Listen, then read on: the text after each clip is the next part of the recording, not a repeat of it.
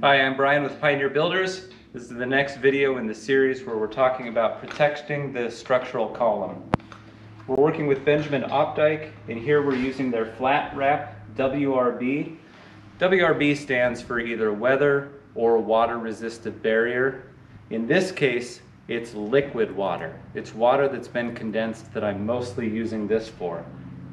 We've already got it started just using a little hammer tacker. You can see the tacks there. We'll finish it out later. You can see too, we've got the Huber zip system that we installed this morning.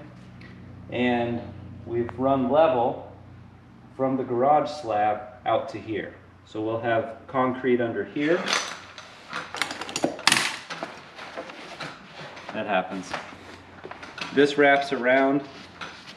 And then in our next video, we'll install the uh, rain slicker. But this is gonna come and overlap there. So hopefully this helped you out a little bit. And we'll see you in the next video.